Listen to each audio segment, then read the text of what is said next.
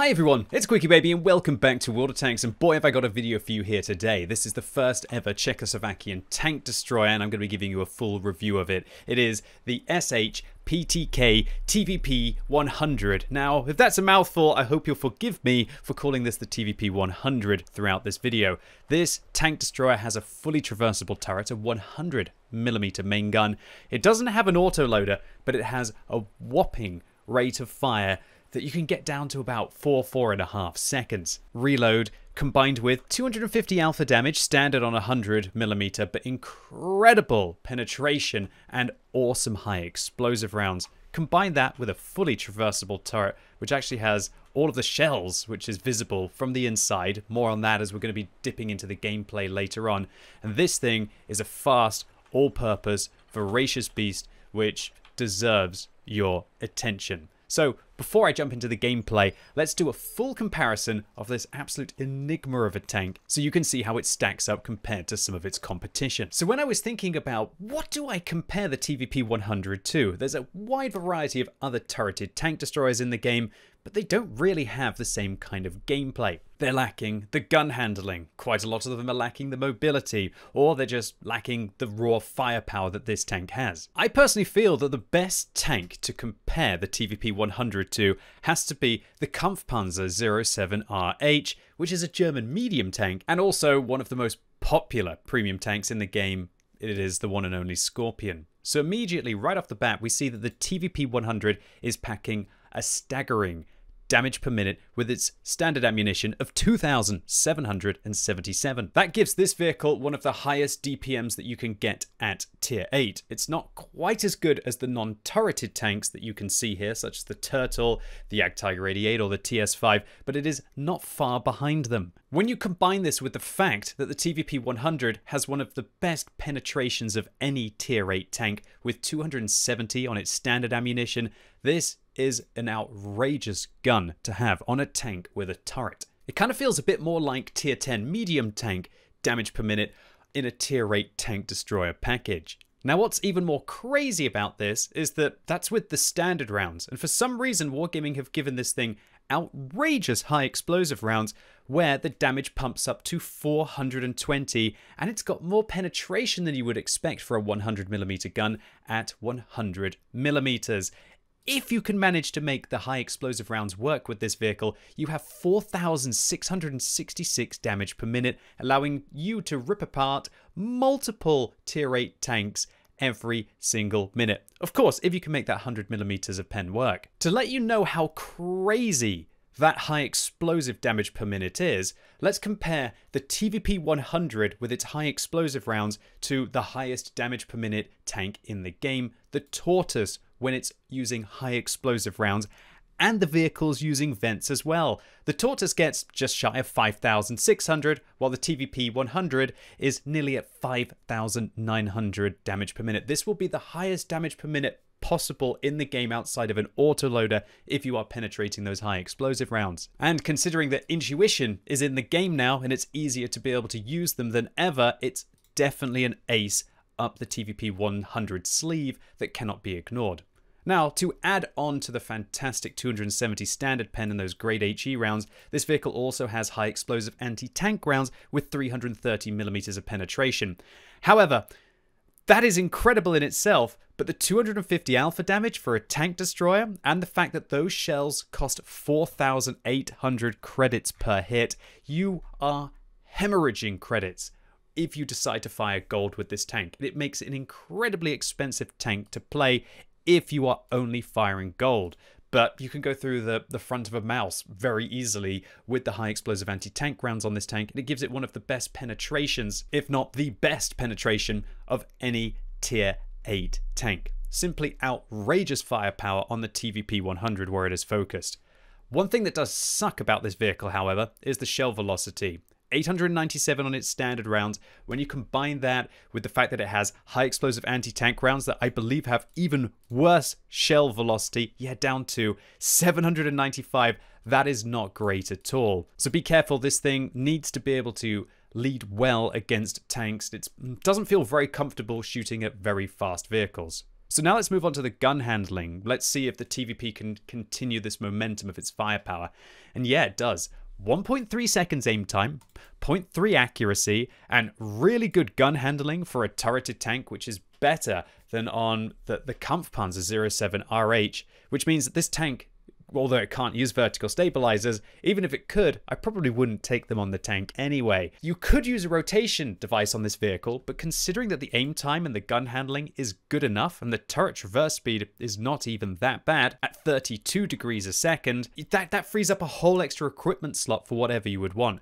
This gun handling is outrageously good on this tank, and it does feel more like a medium and a very good medium compared to a turreted tank destroyer. Just look at what it does to the Scorpion. It's literally got half the dispersion and nearly half the aim time of a Scorpion, and that's a tank that already feels quite comfortable with the gun. One thing that does suck about the TVP 100 though is the 6 degrees of gun depression however, so don't think you're going to be able to work a ridgeline like a medium tank could. So now onto the mobility. In this tank, it's not outrageously quick like the, the Kampfpanzer is, but it's not slow.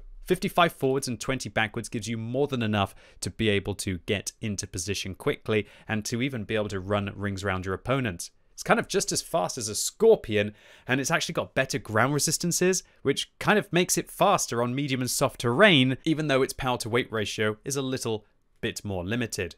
As I mentioned, the turret traverse on this tank at 32 degrees is not horrible like on other turreted tank destroyers like the Scorpion, Hence why I don't really feel like it needs a rotation device and you can invest that into other aspects of the tank. But go for a rotation device if you want to take this thing to the extreme and really have kind of medium tank turret traverse and incredible gun handling. This tank just is getting better and better and better all the way. It's got best in class firepower, I would feel, best in class gun handling, pretty darn good mobility right um, up on the upper level. But what about the armor? Well, yeah, it's not great news for this tank. 65 millimeters of turret armor on the gun shield and on the hull and 40 at the side means that while you're not like a Scorpion which is easily going to get penetrated by high explosive rounds, it's definitely not good news. The TVP 100's model, as we can see, has about 90 millimeters of effective protection on the gun shield. The hull armor, about 184, definitely not great. However, one thing I will mention about this tank is that it's actually pretty okay at side scraping, apart from, as you can see, that they can manage to overmatch this underflap here with only 61mm caliber guns. So be very careful when you are side scraping in this tank if your opponents are slightly below you, because they're going to be able to not only track you most likely, but also be able to enter in your vehicle. Nevertheless, side scraping in this tank can work. You probably want to angle your turret out like this as well to maybe try and bait your opponents into messing up against the uh, the front of your gun shield or to bounce off the side of your turret armor. But be warned, this tank cannot side scrape against 121mm caliber guns and larger, as they're going to overmatch your side armor. Hit points wise, disappointing for when you want to if you wanted to be a medium but it's not bad for a tank destroyer at 1150 and i thought that it would be substantially lower to truly make this thing a glass cannon now onto the miscellaneous stats. View range 370. It's not awful compared to something like a Scorpion. It means that this tank can definitely use coated optics and still have very decent view range, but it's not as high as a medium. When we take a look at the camo rating of this vehicle, it's actually got very, very good stationary camo. Its move, its camo on the move is not quite as good as the Kampfpanzer, but it's double that of the Scorpion, which allows this thing to make outrageously aggressive plays and not get spotted, unlike the big cumbersome German tank. So how do I recommend setting up the TVP 100? Well, I'm personally going to use a gun rammer, coated optics, and I'm going to be using a turbo on this tank. Now you could drop the turbo out alternatively to maybe use a rotation device if you prefer that. But for me, it was more about boosting up that engine power and being able to go forwards at 60 and backwards at 23 that gave this thing the mobility that I wanted. And I feel like its gun handling is good enough already without using the rotation device. My second build on the TVP 100 was dropping the turbo to use an exhaust system to then give this vehicle just shy of 29% camo when moving to allow you to make your more aggressive flanking plays, maybe on maps such as Prokhorovka, where you want to be safe rather than fast. A lot of you might be interested in the crew that the first ever Czechoslovakian tank destroyer uses, and it's kind of identical to all of the mediums. You have a commander, you have a driver, you have a gunner, and you have a loader. And the commander is also the radio operator, which puts pressure on that slot. Accordingly, if you want to prepare a crew for this tank, I thoroughly recommend that you focus in on having a premium crew member as a commander. Maybe try and take one from the personal missions or maybe from the, the event that just passed. And you can probably get away with standard crew members for your gunner, your driver, and your loader, but your commander must be premium as they're going to have to take Brothers in Arms, Sixth Sense, Situational Awareness, Recon, camera rating, and probably even repairs before you even start to feel remotely competitive on the tank. And this vehicle does have access to sniping field mods. And so I'm personally going to end up taking reinforced suspension because I want to improve the ground resistances and also my suspension durability. I'm going to improve the accuracy of the vehicle at the expense of a little bit of the aim time, but both of them are already incredible. And can you believe this tank is getting down to 0.26 accuracy outrageous?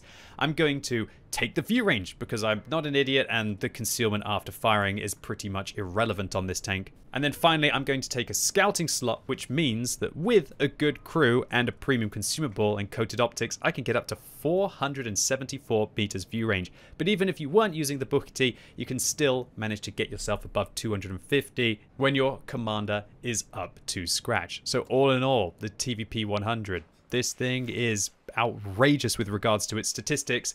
Why don't I show you what I was able to do with it inside the gameplay? Alright, so we're rolling out on Overlord in the TVP 100 in a Tier 8 matchup. And spoilers, this was my first ever game that I played in this tank. It's going to be a learning process as we manage to get through. Now, when I'm playing on Overlord, I really like having a turreted tank destroyer. I would love to have a little bit more gun depression, than the 6 degrees of gun depression the TVP 100 gets because it's just not quite enough to really work these positions. Without kind of getting right in there and getting right up behind that Batchat 12T, I can't really sit behind the ridgeline like I could do with some more flexible tank destroyers. I'm looking at you, G-Saw. Uh, but of course, the G-Saw has half the DPM that the TVP 100 has, and, and this vehicle, it's it's kind of just hitting as as hard, especially if you're managing to go with the high explosive rounds on this tank. You're actually hitting harder than you would be with the G-Saw. One thing that I want to highlight is just how, look, uh, give Wargaming credit where credit is due. When they've made this vehicle look absolutely awesome on the inside, look at how all of the ammo is stored inside of this tank. I love the way that the shells are all placed. I love the extra shells at the back. This is a really cool design. And I have to admit, at this stage of the game, I was kind of just having a bit of a look around. And when you see the turret turn throughout this uh, game when I'm in third person, have a look at how cool it is. That you expose more of the shells towards the left and the right. Oh, it looks absolutely fabulous. Um, it's a little bit distracting at first. And then hopefully after a while, you kind of forget about that. And you actually just want to focus on, uh, yeah, destroying your opponents. So the first few minutes of this game are going to be incredibly chill. And what I want to highlight is how good this tank gets later on in the battle. This is not one of those kind of tanks that you want to be hyper aggressive and go and get forwards and go and get on a ridge line and expose your turret armor. Of course, the tank doesn't have any. And not try and set up for an ambush. That's what you want to do in this tank. You want to set yourself up for an ambush. You don't want to jump straight into the bath and, and risk boiling uh, certain aspects of yourself that you may not want to, but just like put your feelers out, dip your toes in, see where your opponents are going to be, and look to see if you have opportunities. Now you might notice that uh, I didn't fire at the LT-432 there. It's because I'm still kind of worried about giving away my position. We don't know where the Su-130 PMs are, and if they're sitting in the bushes just opposite me and I get spotted by this LT-432, it's not going to be happy days. Nevertheless, we decide to fire there and pull back as quickly as we can. Getting spotted, no harm done. We manage to track the LT-432. Unfortunately, there's no follow-up damage from my team, and you can see I'm starting to get a little bit antsy. I'm like, oh, I can't wait for this bath to kind of cool down a little bit. I kind of want to get stuck into it.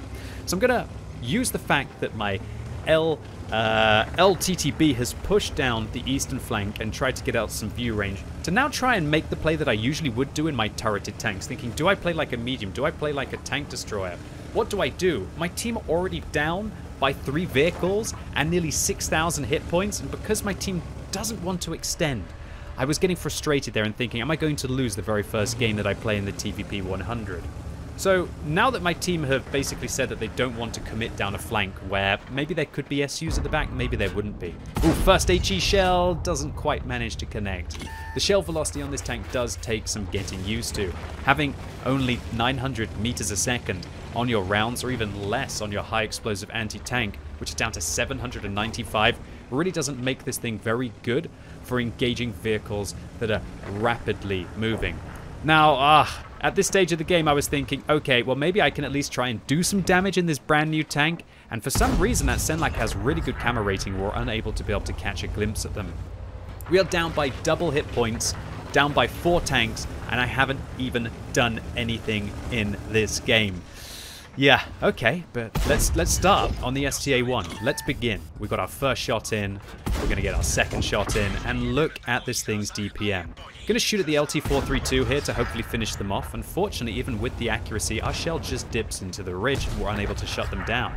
However, the STA-1's dead, also the LT-432 dies with our vision, and now we can go after this Somua SM.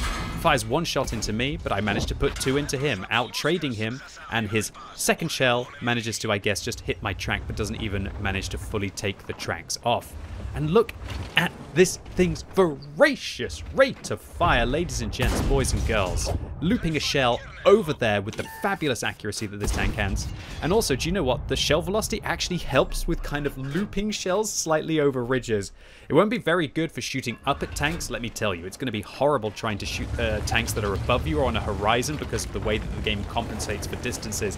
But in those kind of scenarios where you just want to loop a shell over a ridgeline, there's no harm in almost like auto-aiming in certain scenarios when the vehicle is just behind the ridge, or even just, you know, trying to aim slightly low on the tank to adjust for the, um, I'm getting distracted by the fact that there's a guard that's managed to go on upside down there, to be able to adjust for the vehicle's low shell velocity. So I'm expecting the Somua SM to come out. Now I'm going to reload a high explosive anti-tank round. And remember, these things have got 330 millimeters of penetration. You're going to be able to butter your way through the front of everything with this. So I decide to try and shoot the tracks there on this tank to lock them in place, fire one more heat round, and now go after the AP rounds. And this is where this thing is just, you don't want to sit in front of this. This is one of the last tanks in the game that you want to sit in front of. Unfortunately for me, there's an IS-6 behind. Now, if I was a, a Scorpion, that would be a problem, but I'm not a Scorpion. I've got a very good traverse speed, I've got a very good rate of fire, and perfect to be able to finish off that IS-6. I guess he thought he was getting the jump on me, but in fact, we were shutting them down. And we should have the gun kill here on the on the 110. Unfortunately, it doesn't go in, but you get to follow it up with another shot. And even though we started with pretty much nothing in this game and down on double hit points nearly, we are starting to make our way back. And oh dear, ISU 152K, very dangerous from the front, but not so dangerous from the side and it's just outrageous how many shells you can get in. We penetrated three shots there. That is 750 average damage that we should have done to the ISU 152K, and we've got all of the mobility and all of the flexibility to be able to just keep trying to deal with our opponents. Alright, so in this situation, I was a little bit worried about the fact that I was about to get surrounded by the Somua SM. I was also worried about the fact that the Ferdinand might be sneaking their way up along the coastline here.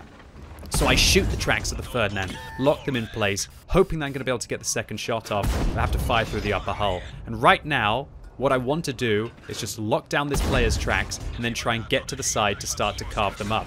They actually used the 90mm gun and they managed to put one into me there. But look at this mobility.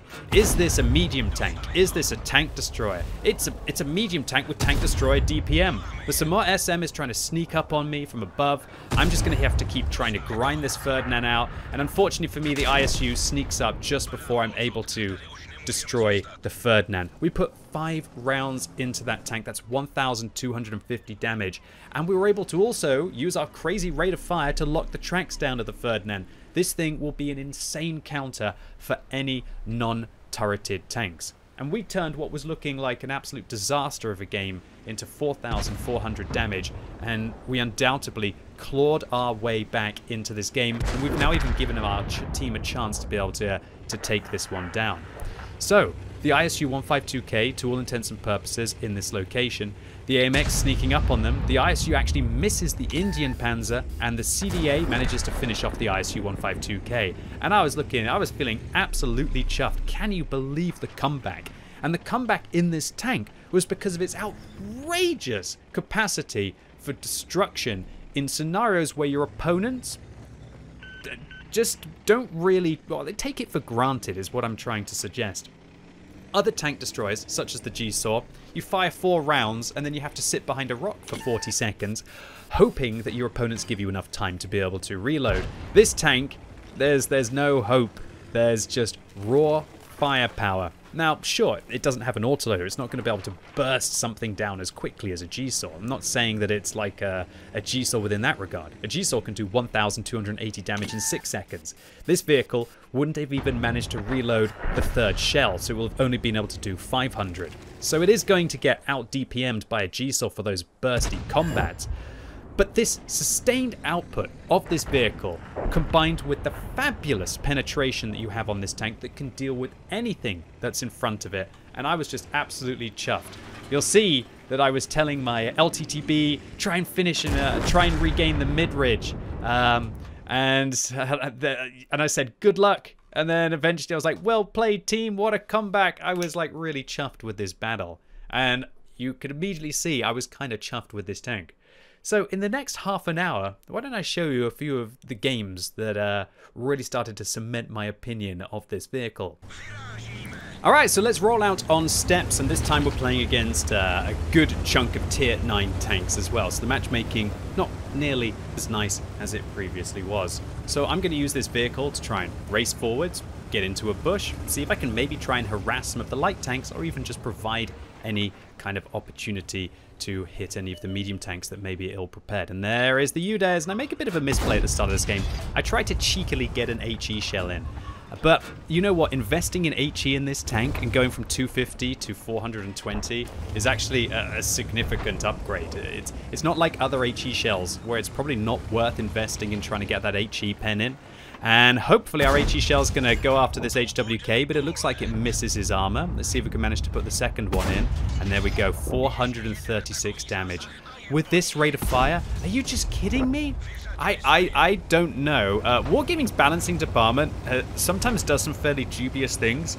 For me personally, and my kind of playstyle, and my vibe with this tank, and my, my use of intuition, and my, my aggressive playstyle, this thing has all of the statistics that I want to voraciously cut up my opponents. It is an absolute incredible tank from that regard. So I'm going to switch out to a high explosive anti-tank shell here to try and dump it in on the top of the T-30 turret. And luckily, it doesn't quite manage to go in. So in this situation, I can just be a little bit chill, try and get some support fire. At the end of the day, that's what this tank is. It's a support fire tank that will also manage to get some shells in occasionally in close quarters combat. Unfortunately, that Czechoslovakian heavy tank, the Skoda T56, that's a very scary vehicle, right? That thing's hitting for uh, 460, is it not? Uh, or is it 440? No, it's not 440, it's 460. Gosh, I always seem to think in my mind, like, there's no way it's actually got 460 alpha damage. 460 with an autoloader? That is pretty scary.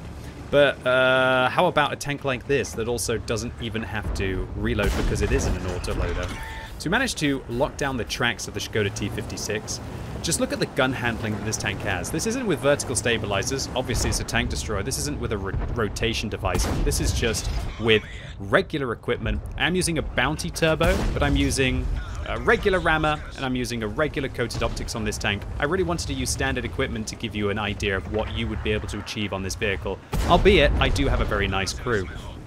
But uh, what, how far do we how far do we push down the barriers of what I what I'm allowed to play with inside the reviews? All right, so we've shut down the Skoda T56 and I tell the Progetto 46, help me out, mate, and I'm going to go after this E75. I've got 260 millimeters of pen, which will easily allow me to go through the E75. And uh, what more do you want? Incredible DPM, incredible mobility, fully traversable turret, and how about even maybe HE shells so that we can be able to guarantee kill the SU-130PM? Well, drat. Unfortunately, we just managed to miss there, but I believe the SU did as well, which means I'm guaranteed to kill him with my 420 alpha damage. Do you see how this thing can explode? It's a tank that isn't durable. You don't want to get into situations where you're caught out by multiple tanks. But if you can control the engagement, wait, and then explode in a scenario, this thing is voracious. And what I was able to do with this tank was just... It was... It was... I'd say it was overpowered. But the problem is, is that when I'm trying to make like a judgment on a vehicle like this, I think it's just got an incredibly high carry potential and an incredibly high skill cap. I can imagine these things in the hands of very dangerous players are going to be horrendously good. But on the other hand, I can definitely imagine that the, the more average and the below average players are going to struggle because they won't have set it up correctly. They won't have the crew skills available. They won't think about using bushes. They won't think about when is the time to push the tempo in a tank. They won't be able to survive because of the armor, and they might not even have the alpha damage on the gun to be able to make the trades that this tank needs to. So maybe I was a little bit too aggressive there, pushing forwards. My camera rating held up initially, but then fell, uh, fell, fell off, and I was unfortunate that the CS52 LIS combined with the UDES were able to get a couple of shots. I was very lucky that they low rolled, however. So I'm going to put my first shot towards the T-30 there. I'm quite surprised that shell didn't go in, but we've got a second shell to follow it up, but the ELC finishes him off. So I'm going to put one into the Skoda T56 here, but I guess I'm not aiming properly right now. And look at these HE shells. 388, 5 second reload, and then we would have followed it up for another 400 if somebody else hadn't managed to hit it. Just absolutely scary stuff, how much damage this thing can put out so darn quickly.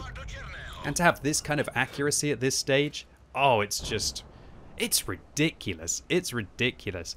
This is um, probably one of the most scary tanks that I've played in a long time, but you know how I love my flexible tanks, you know how I love my damage per minute. This thing, it's as, almost as if they've designed it for me. The only thing that really seriously concerns me about this vehicle is how annoying it's going to have to be to have an entire dedica dedicated crew for just a single tank. Let's take a look to see what we can do to this IS-6 Black Edition here. Unfortunately, I might have aimed a touch low there. I should have aimed a little bit higher, but it doesn't even really matter if you're missing when you've got this kind of rate of fire. Well, of course it does matter. You don't want to miss your shots, but just, it's outrageous. It's like it's an autoloader, but it's not an autoloader. So we're going to come around the corner here, put a round into the UDES, and this is where having that flexible turret is just wonderful. Put a second round in. I probably could have penetrated a high explosive round there, so maybe a little bit of a misplay. And we cheekily try and go for another shot on the CS-52 LIS, but we get a little bit of spotting to go with our 4,500 damage in this six-minute game. How about another one? Okay, so we're loading in here and I'm going to take my second equipment loadout where I'm going to drop the turbo to use the concealment module instead. This is going to get me up to about that 28-29% camo. Um, again, I'm not using a bounty uh, exhaust. If you wanted to be able to pump it up a little bit further, you could use a bounty exhaust if that's your kind of thing. I've been really enjoying using exhausts on a wide variety of tanks that like to snipe. If I can try, if I can try and control the engagement by not being spotted by my opponents, then how can they possibly manage to outsnipe me? And this vehicle, it is kind of, it kind of does feel a bit like a, a leopard uh, within that regard, or like the the RHM, um, as I was talking about the not the RHM, sorry, the, the Kampfpanzer, um, the Tier 8 German medium tank. It has that kind of flavor to it, that kind of vibe. And if it had the gun depression as well, well, this thing would probably be the most broken tank in the game to play. I'm not saying it's not broken. Um, it's really hard for me. I, in my tank reviews, I, what I like to do is I try to, as objectively as possible, assess the statistics and then let you know about how the tank feels to play. And then I try to think of it from a perspective of players who are very strong and then players who are average or below average. I feel like that's all that I can do. Uh, it's it's not really fair of me after not seeing how the whole of the player base is going to play it, whether I think that it's going to be outrageously overpowered. What I am going to say is that this tank has all of the statistics to do absolutely crazy things inside World of Tanks, and it has all of the statistics that I want to destroy games through plays like you're going to be seeing me making. Now, this isn't me just... I didn't go out and play this play this tank for three hours and then be able to cherry pick the best games.